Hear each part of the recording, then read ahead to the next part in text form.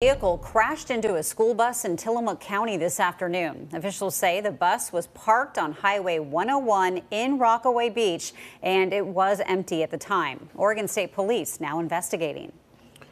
On this